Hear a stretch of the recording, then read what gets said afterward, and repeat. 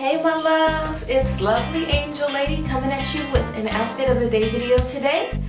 So if you're interested in seeing what I'm rocking, stay tuned. Alright, here we go.